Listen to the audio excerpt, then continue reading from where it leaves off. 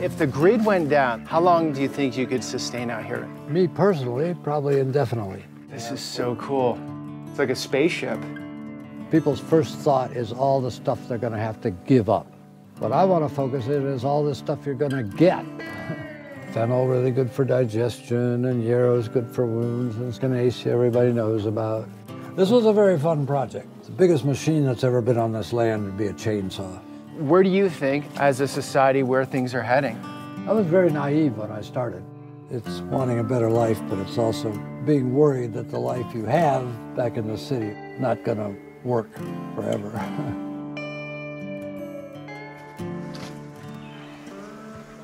Joe, how long have you been out here for? 50 years. So 50 years ago, you purchased this land? I purchased this land, 2.8 acres. It cost me $800. Last good deal. Nobody was moving into Yancey County at that point. It was the second poorest county in the state.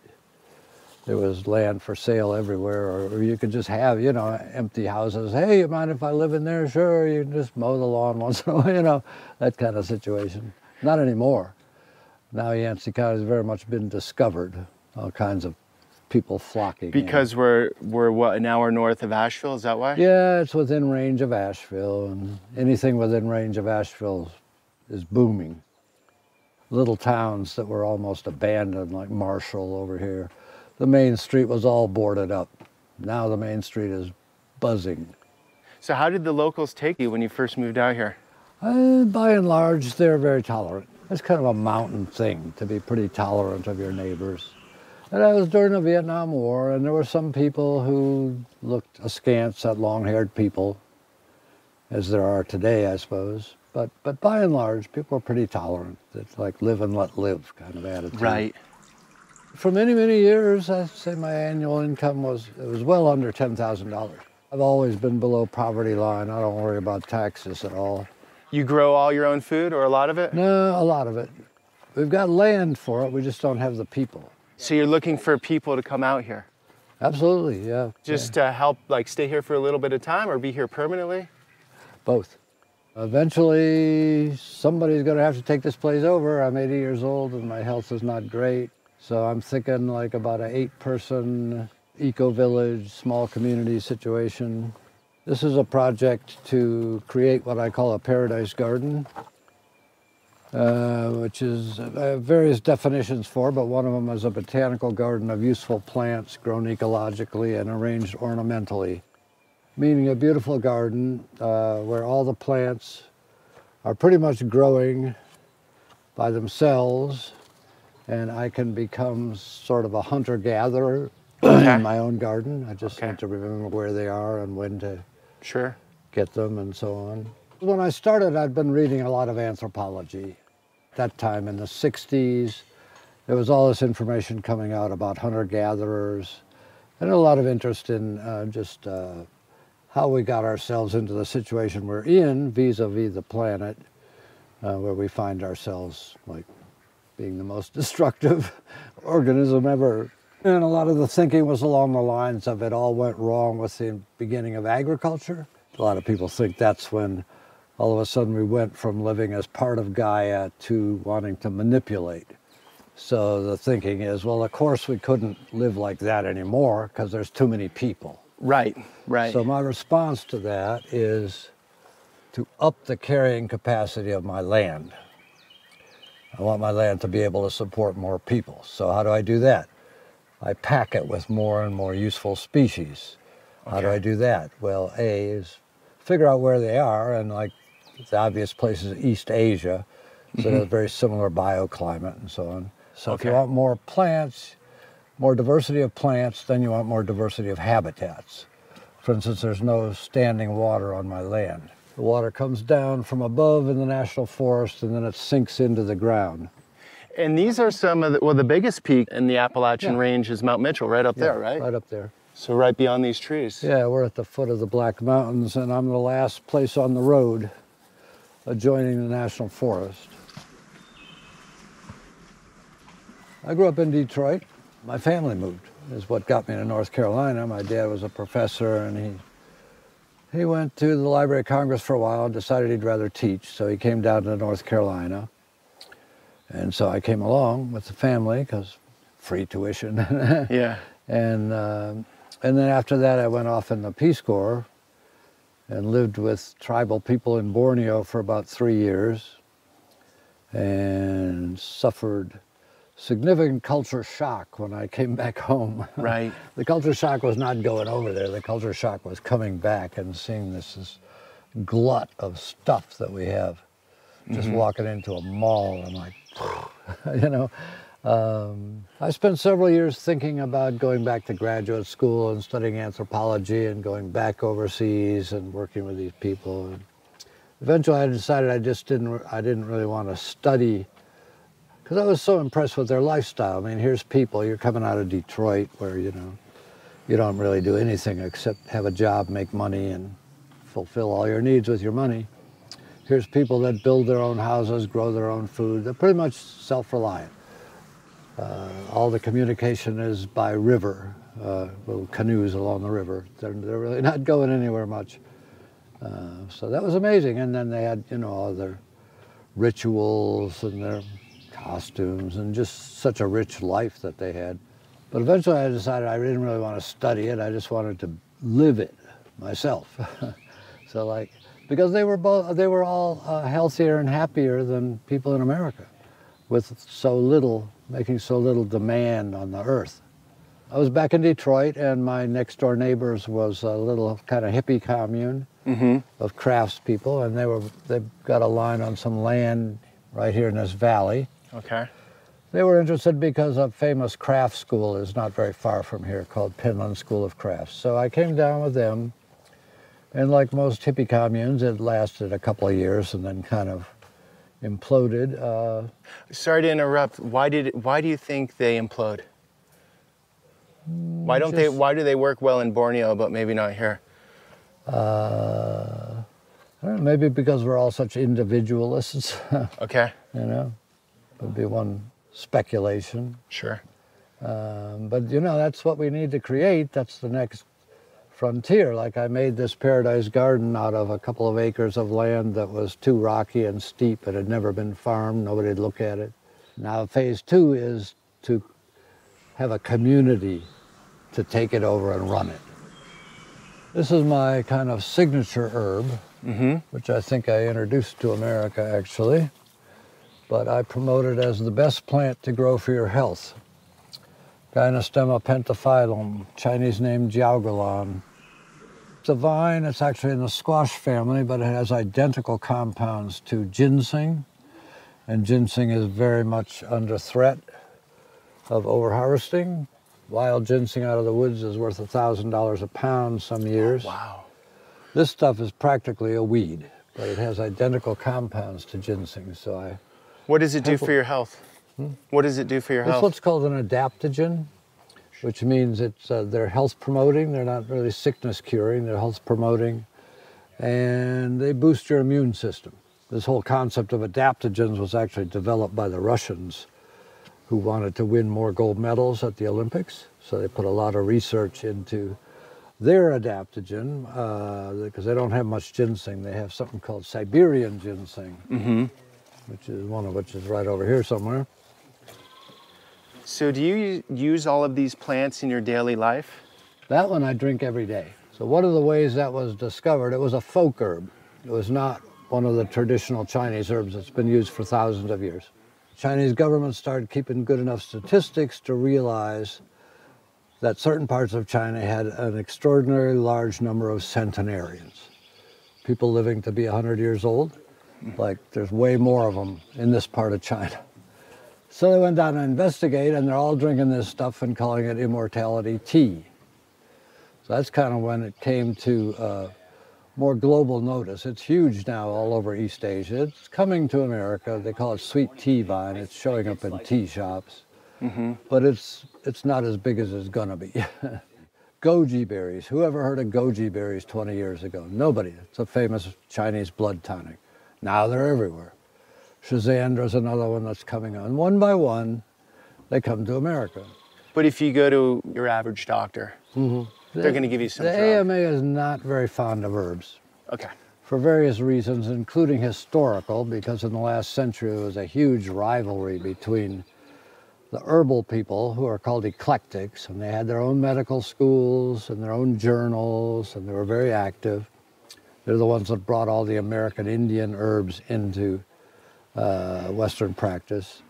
But there was a huge rivalry between them and the AMA, the medical establishment, which the medical establishment finally won for various reasons. If you're a conspiracy theorist, you could say, well, it's because at a certain point in time, all the wealthy people, Carnegie and Rockefeller and Ford, pumped all this money into Harvard and Yale and Princeton, and nobody gave any money to the herbal people.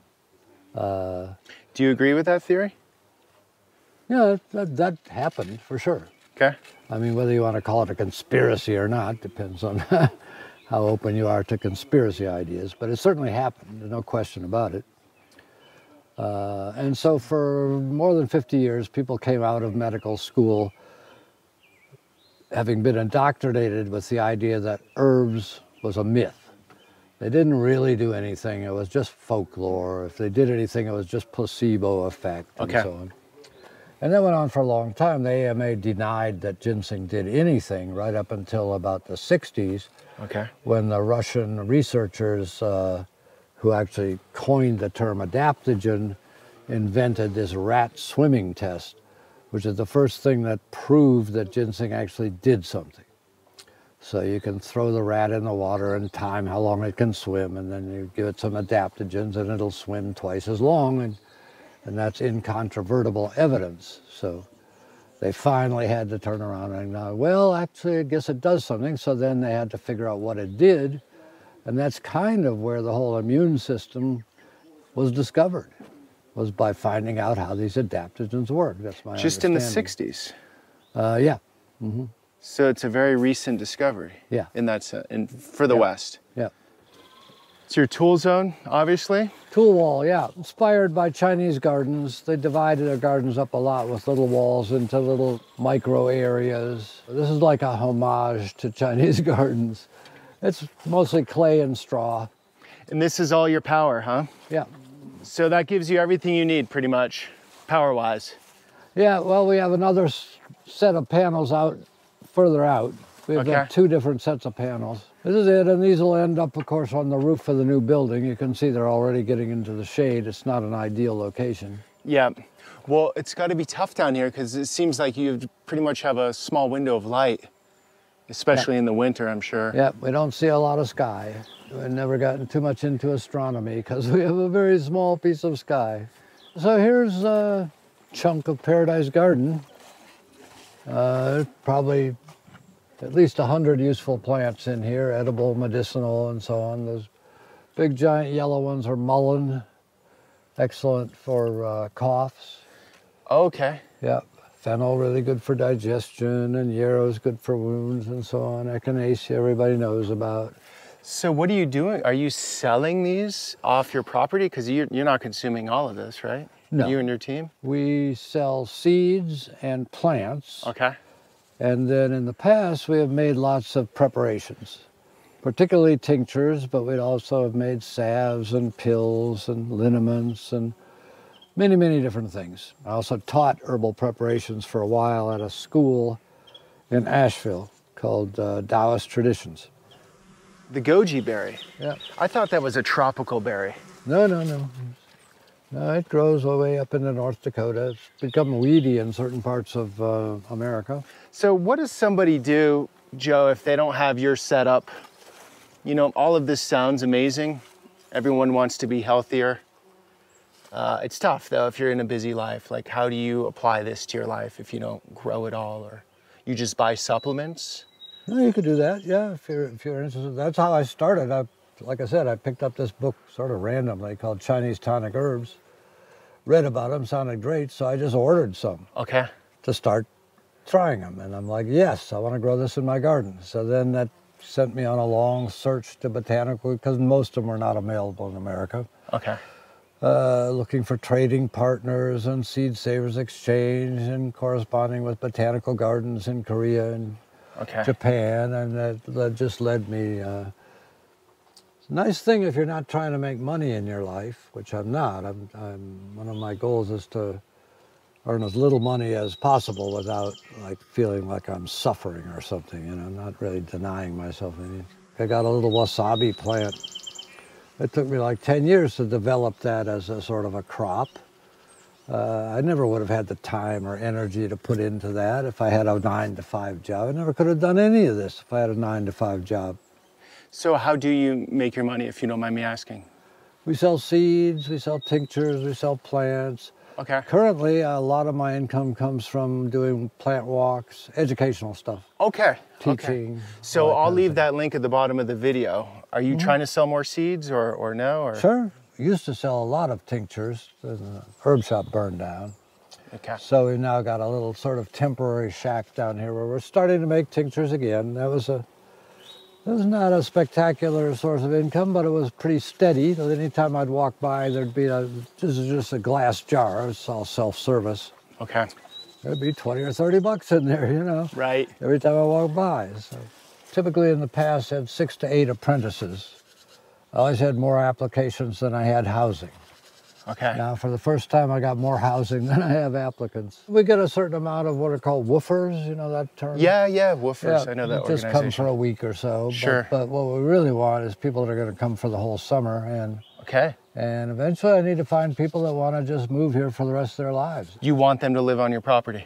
Yeah, yeah, yeah. Okay. And well, I'm sure there's someone out there. Income by taking over one or another aspect. You know, somebody could make a nice income just from the medicinal herbs. Somebody could make a nice income from developing herbal products. Somebody could make a nice income from the teaching, website development, and then the big income possibility is this herb school, which I was starting to set up at the end of the road.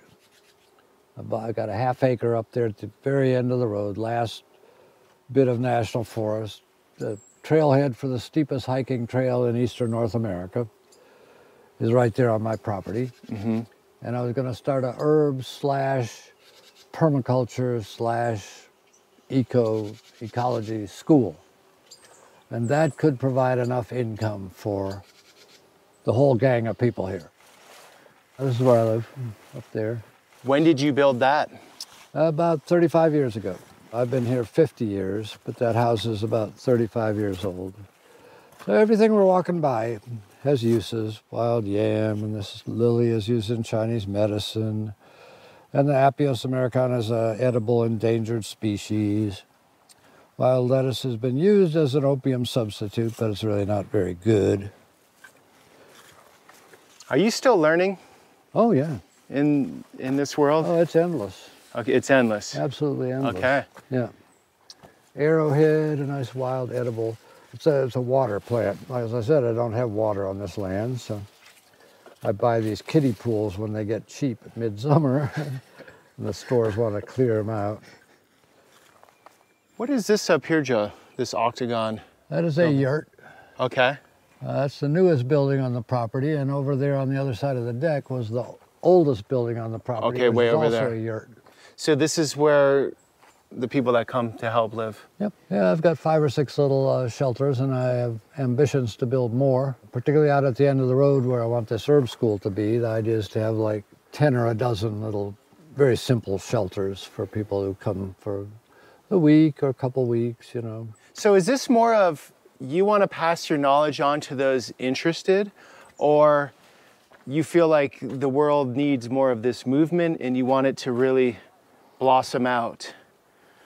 Well, it's both. People need to live differently. The way we're living on Earth is destroying the planet. I, I think we all recognize that. Uh, it's just like uh, in terms of changing to a more successful way of life, how far are you willing to go? You know, when I talk about this stuff, people's first thought is all the stuff they're going to have to give up. Whereas what I want to focus in is all the stuff you're going to get, all the positive stuff. You know this concept of uh, forest bathing? No. Heard of that one? Very, very big in the Far East. In Japan, they got a word for falling dead at your desk. They can say that in one word. Uh, people are just so overworked. So, so people are being prescribed to do this thing called forest bathing, where you just go out in the woods and kind of meditate and open your senses, your ears, your nose, your eyes, and mm-hmm. just absorb this natural energy. Well, you can put a helmet on somebody and measure their brain waves. And it's just a difference of night and day between somebody walking down a city street and something, somebody walking down a mountain path. And that's all very, very measurable. So the idea is to transfer my needs from civilization, which is my word for what do you call it, the state or the economy, or just like the way everything works, with money being the, the blood of it, back to fulfilling my needs from a direct relationship with the planet, with Gaia. Okay, so you built this by yourself or with anyone? With friends, there were uh, half a dozen people, sometimes more than that, on work days. The upstairs is clogged up with books. I've, I've gotten a lot of donations, more than I have places to put them. Taoism. You love Lao, Lao Tzu? Yeah, I had a whole bookcase of Taoism. Now I'm down to just one shelf. Are these some of the supplements you take every day? yeah, these are tinctures I've made for various purposes. There are a lot more of them uh, down in the little herb shop. That's a feng shui compass. How does a feng shui compass work? Oh, it is incredibly complicated. Each one of these little circles will give you a piece of information. There's about 32. It's a very interesting concept. The Chinese are now working on scientifically validating it. Mm-hmm. But it's been thought to be nonsense, you know, but it's very important to them.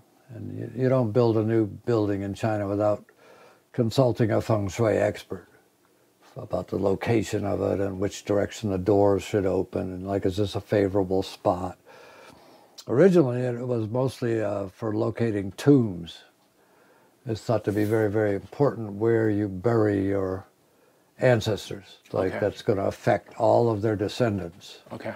forever so so you do all, all your cooking here? yeah well we eat, we we do a lot of cooking over there i eat with the group typically Okay. Great. They cook on wood over there. Over here, I'm unfortunately stuck with propane, but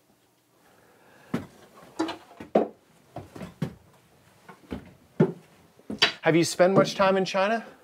no, just a couple of months. I mean, just about a month. The Chinese government invited me over for a conference on uh, medicinal herbs. So that was great. I mean, I've been wanting to get to China my whole life, but I could never really afford it. Yeah, so just books coming in, donated books. Okay. with boxes of them upstairs that haven't ever even been unpacked. This entire thing is about Chinese garden design, something that's very interesting to me, philosophy of Chinese garden. Wow. So if if someone is interested in this field, coming to you is is like going to Harvard. You know, uh, you're not you're not the higher education institution. I'm saying, but you're you're the knowledge that took a lifetime to accumulate. On some of these topics, yeah. The reason Chinese gardens are so interesting to me is they were built for self improvement. Like the idea is to create an area with perfect energy because what you do in a Chinese garden is you practice Tai Chi, you do meditation, you write poetry, you do landscape painting, you play your zither. Uh, it's all like for spiritual development. So the, the purpose of the garden is to have optimum chi energy because we derive our chi from the environment. Like I like English landscape gardens, they're very nice, but the Chinese have this extra dimension that is really a garden that's good for you, okay. which is what I want my garden to, to be. It stayed balanced between the Taoists who said we should live according to nature and the Confucians who said we should live according to society. So the Confucians are the ones that want to kind of manipulate everything. The Taoists, uh, but but most of all, the uh, and China has like made many, many, many, many important worldwide discoveries: printing, paper making, gunpowder, the compass. This is all from China, but they didn't use it to colonize the rest of the world. Uh, those are all discoveries because the Taoists were really interested in understanding the planet in order to fit better not in order to change it around. They just wanted to fit in better. That was their goal. Yeah. So what's explain again the, the equivalent of that in Western society? You're saying in Greece? Oh yeah. Well, there was schools of thought that thought we should live according to nature, and we now call them cynics and skeptics, and Epicurus was another one. Uh, but then all that's left is fragments. There's not very much left of all the things they wrote, Heraclitus and so on. A lot of it's very Taoist. Uh, what about the argument that, yeah, this way, let's just say away from technology, modern world, more off the land, more in tune with nature, isn't scalable for the average person, i.e., you're in an apartment tower that holds a thousand people. You're really taking up very little space. To have that existence, you're all sharing one roof. You're not taking up land. So, in a way, because society, we have a fixed amount of people on the earth right now at this very time, if everyone was spread out, then there'd well, be no there'd be no nature in a sense, right? I looked into it at one point, and they uh, uh, might have changed by now because this was about 40 years ago. But the amount of land per person was it was doable. In, in fact, in, I Ameri- fit, in America, it's doable. No, this was worldwide. The amount of arable land mm. uh, per capita, and and it breaks down into like there's arable land which you can cultivate, and then there's sort of agricultural land would be more like pasture and so on, and then there's wasteland, and you can figure out uh, you can divide the number of people on Earth into the number of acres of that stuff and everybody gets you know about an acre of arable land and another couple of acres of this kind of number two land. But i'm not i'm not i i but my I, whole project is wasteland. Wasteland this land okay. would not be class, classified as good for anything. Okay. So that's part of because the it's experiment too it's too here. hilly. A hilly and it was 80% rocks. Okay. This was a very fun project this is when it originally was built. This is the original building. Okay. All, almost all the material came off the land. I'm well endowed with poplar trees, and I got plenty of rocks, and I got clay to make cob out of. so it was just me and a couple of guys. Uh, the biggest machine that's ever been on this land would be a chainsaw. Everything is just hand labor. If you were young, let's say 30 years old right now, is there any way you'd do it differently, arranging this lifestyle? Oh, I would have to rethink the whole thing, given what I know now about the uh, ecosystems and so on. I mean, I would still need to make a clearing because just for diversity of habitats, you know. Okay. Uh, you can't do everything in the woods, but part of the reason why I'm interested in medicinal herbs is because a lot of them grow in the woods and I didn't want to cut down all my trees. So there's this whole concept of non-timber forest products, which is mostly used in the tropics to try and get people to not cut down all the forests. Yeah. But it's equally valid here. I was very naive when I started. I never studied botany in school or ecology or any of that stuff. You learned all of this as you went along? Yeah. Okay. Yeah. What would you what would your advice? You've lived a lot of life, you have a lot of wisdom. What would your advice be for a young person? Right. Get now? a hold of a little piece of land. and just start. And go from there, yeah. Yeah, we used to have a really nice little uh, cob dome. It was built at a cost of $50. It was like a kiva. Got bent in saplings and then put clay. Uh, it was beautiful. A tree fell on it and didn't really bust it down, but it kind of hurt it enough that water started to get in. So about 10 years later, there was a lot of rot. We had to knock it down. But it was, it was wonderful. So that's like a house you could whack together for 50 bucks, you know. And you're off and running. You know, you don't need much more than a pointed stick, really. I mean, you don't need a big bankroll. I started off here, my bankroll was, I think, $500 total that I got from a season of apple picking. And we bought a bunch of tools and we bought 50 pounds of brown rice, you know, packed it all into a little Volkswagen, and here we were. The whole thing we need to do is live according to Gaia. That explains all the problems we're having on Earth is because we, we no longer have a valid niche. You know, we, once upon a time when we were hunter-gatherers, etc., we had a valid niche. We fitted into the whole system, and then we went off on our own. But maybe the the system was very communal. Like your trip, I'm sorry, what was the island you went to? Borneo, Borneo. It's very communal, so that system works really well. tribal. We're, we're in a very, yeah, tribal system. We're in a very individualistically driven culture. Has its pros, has its cons. One of the cons is how do you create these systems where there's community doing all of their part and working together? well, Like what holds it that's together? the challenge. Because there they have survival maybe to hold them together or some, Well, sort of spirits or Kinship, gods. tribal kinship. society, yeah. So what do we have holding us together? I mean, religion's always been the staple for that sort of thing. There's a book I'm reading at the moment. He's Okay, is the answer in here? He's, yeah. he's got a, a positive definition of the primitive. I, I see the, a huge dichotomy between what I call civilization and the primitive. The primitive being life in Gaia, civilization being life in society, based on money. Uh, yeah, they have uh, primitive societies are based on kinship, basically. Tribal societies. That's what holds them together. So you can always tap out here in a way. We're in a modern society. If you need help, you can go off this plot of land and, and some, someone or something is going to help you. Like even if you had an accident, you go to the ER room. Right? So Mm-hmm. Yep, maybe yep. there's that knowing there's something there outside of Oh, that. for sure. the that's tribe. what makes, yeah, that's what gives us the freedom to do this kind of thing.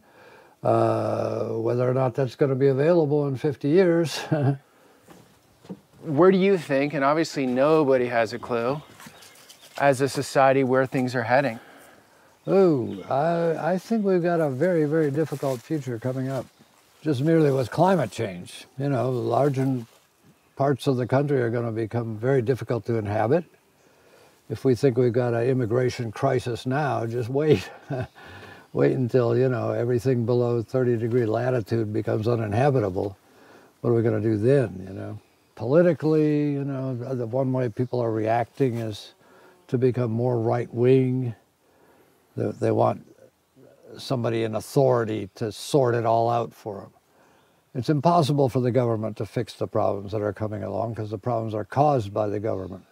But an argument would be the right wing would say the left wing is author- authoritarian and wants to, they want everyone to figure things out for them. Yeah, I know. So each side says the same thing. It's Sure. interesting, right? Yeah. Yeah, there's this guy around here. He's still talking about Al Gore. He thinks Al Gore was trying to take over the country with his myth about global warming. Is, Al, is Al Gore still flying private though? I don't even know if he's still alive. I think he is. So this is, uh, I've never done anything with this land very much. Introduced a few interesting plants, but it's mostly in its natural state. These are these are foreign. They're not native here, right? No, no, they're totally native. Wow. Appalachia has uh, when you get down more southern Appalachia, there's much more variety with the plant life. Yes, uh, very big for the variety because you've got uh, the northern flora meeting the southern flora. Right at this spot. Yeah, pretty much right in here. So this is Mount Mitchell is the farthest south of like paper birch, for Okay. example, and a number of other things. Whereas it's also the farthest north for certain other things. Uh, so yeah, we've got an unusually high level of diversity here. Very fortunate. If the grid went down, let's just say supply chains grinded to a halt, the grid goes down, how long do you think you could sustain out here right now with what you have? Uh, well, me personally, probably indefinitely. If I had six or eight people here, it might start to get more challenging. There's just any amount of stuff out there to eat, but that many people would probably exhaust it pretty fast. So we're going to have to get on the stick about boosting our food production. Yeah, so this is one of the shelters that Oh, we this have. is so cool. It's like a spaceship. Yeah, yeah, that's exactly my thinking. Yeah, It's hard to explain, but these these walls come in, mm-hmm. And then it's you're based on a looking down. Mongolian dwelling, which was actually nomadic, Yep. called a yurt, but this is a wooden version, designed by a man named Bill Coperthwaite, who lived way up in Maine, very remotely. He was off the grid more than me. Okay. Had to walk into his place for about 20 minutes. Are there a lot of people doing this? I think so. I have no idea how many. I think they're scattered all over the place. Yeah, and you wouldn't know. The more remote they are, the I less there was a very big back to land movement back in the late 60s, early 70s. Most of them gave it up and went back home because their parents kept nagging them to grow up and get a job, you know, but not all of them. So you have these lingering pockets here and there. Celo, just down the road, is the oldest intentional community in America, Oldest intentional community Yeah. in America. a mile and a half down the road. That's partly why I'm here.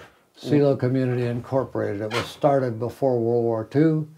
Had a lot of uh, draft avoider types. It was started by a man named Arthur Morgan, first head of the TVA. He was the first head of Antioch College, if you ever heard of that. Sure. It's quite an experimental outfit. A lot of uh, Quaker influence.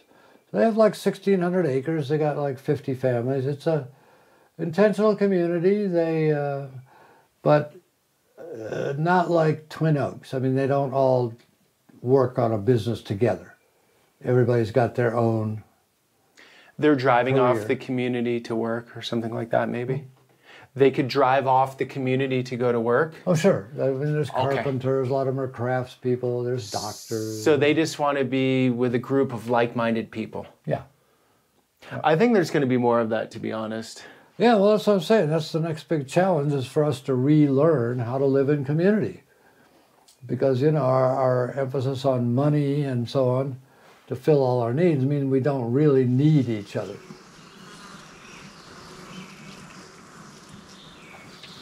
It's so crappy that it's it would be pointless to try and fix it up. So we're just using it until we can get something rebuilt up above Okay. has a dirt floor. I mean, what do you, you know, it's like a joke, really. But we do the best we can. So these are all Chinese herbs. So these you're purchasing, Uh, or yeah. these? Okay, Yeah. they don't come from here. Most of them grow in my garden. Oh, they come from your Not- garden. No, they don't, in. What's in my garden is not enough quantity Okay. to do this. If we harvest stuff from my garden, we'll typically tincture it. These are tinctures in process.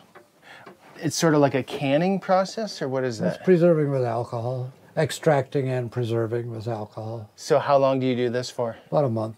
Then we squeeze them out and put them in bottles. Oh. And Uh, you're- you're boosting selling- stuff, antiviral stuff, good for the brain, good for sleep, good for anxiety, good for broken So you're you're selling this here. Mm-hmm.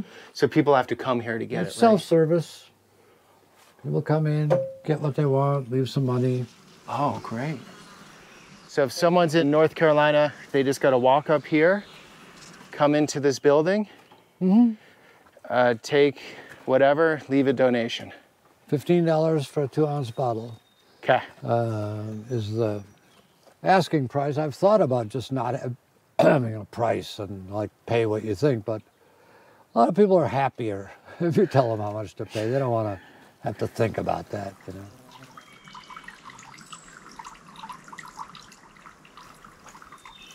This is beautiful in here, Joe. This is like a whole nother zone. In an Uh-huh. old cabin? Yeah, that's what I built out of the trees that were growing here in the middle. And I used uh, more of them to build the building that burned down. That was the first thing I ever built. I had a foxfire book, and it told how a traditional Appalachian cabin was built. I personally am just very drawn to mountains. And mountains are very big in Chinese thinking too, philosophy and and medicine as well. The, if a herb is good for something, it's twice as good if it came out of the mountains Okay. because there's more of this chi energy in the mountains. I don't know if he's home. Jeff, are you here?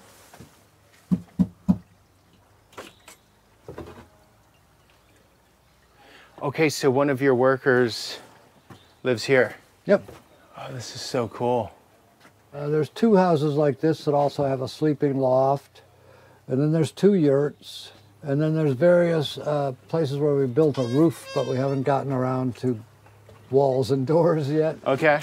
The whole idea of this future community is it's going to be some gardeners and some builders and some organizers, some people that can do computer, website, you know, outreach, kind of just a variety of folks.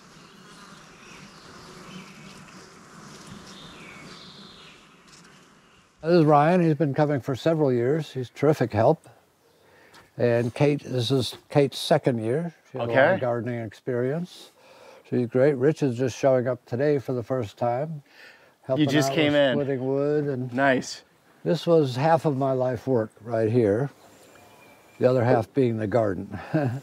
so the half that was right here was my lifetime library, and it was an exceedingly good library.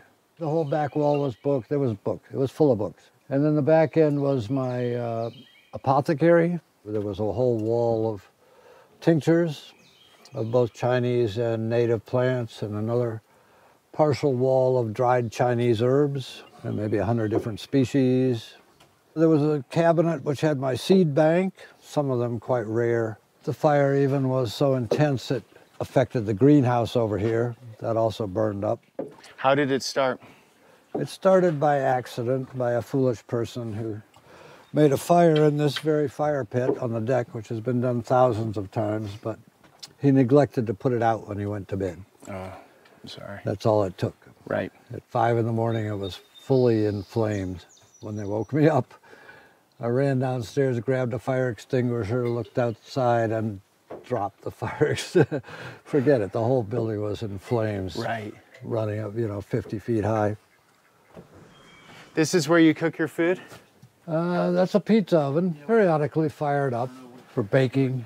This is meant to turn into a workspace at some point. You can see there's windows everywhere. There's just stuff everywhere. kind of maddening. It's a lot to manage. the old yurt if you want. Oh, yeah. Oh, another yurt. Anybody in there at the moment?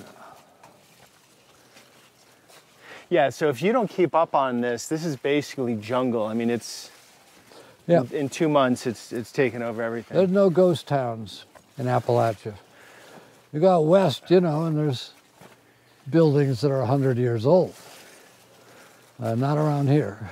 They just get grown over. The mushrooms will eat it. This is the oldest building here, almost 50 years old. It's really on its last legs. There's a lot of rot. Okay. Been neglected at different times. So just as an effort to get a few more years out of it, we covered the whole roof with plastic. It can't really be repaired. Oh, this one looks nice. Oh, it's a very, it's one of my favorite spaces of all. There's something really nice about having a dwelling space without corners. Where Yeah. everything you own is just like within your peripheral vision. yeah. Also makes it easier to keep warm, for example. and this stays plenty warm in the winter with that one stove? It, uh, it doesn't hold heat, Okay. but it's very easy to heat up. Yeah. So you can come in there when it's 20 degrees and you can have it comfortable in 20 minutes. It's on its way out. You know, it used to have an openable skylight, which was very nice for ventilation. So this is kind of a last ditch effort to get a few more years out of it. I'm going to feel very sad when it finally has to get knocked down, but it's inevitable.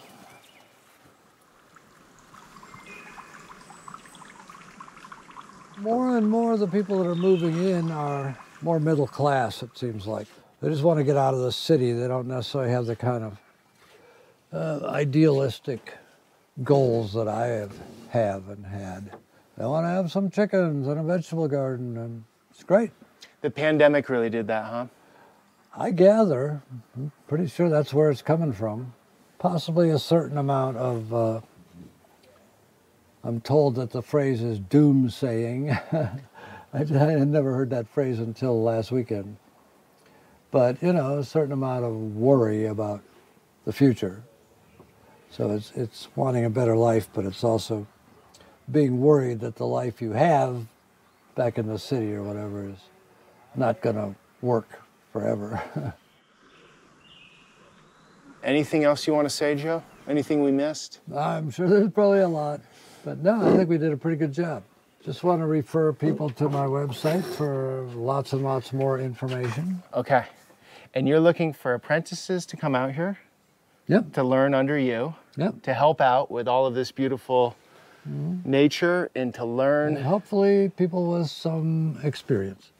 Like I usually say, you should have a, a year's of gardening experience Okay. to think about becoming an apprentice. Now, we do take on woofers, very short term, you know, for a week or two at a time. Okay. Uh, when we have the space, I don't know, maybe as a result of this video, we're all of a sudden going to be overwhelmed. But long term is more ideal, right? Like, Oh, yeah. Like for the summer, full summer season, something like that. And if you come back for the following, the longer people stay, the more helpful they can be. So what they what they're getting for that is they're they're going to get to live for free here, but the big takeaway is you're going to learn how to live in an environment like this, pretty much completely removed from someone who's done it for 50 years. Mm-hmm. All right. Educational opportunity, room, board, and educational opportunity is, is what we have to offer. Thank you. Appreciate it. Thank you. Respect uh, how you're living and how you've lived. This is great. It's very, very cool to see. Good. All right. Thanks for coming along, guys. Until the next one. Yeah, these are good echinaceas. These are the better echinaceas, actually. So when would you even do that? It Fall? would be a very big project. Fall or early spring, or when would you do that? You wouldn't do that now. No, Yeah. probably not.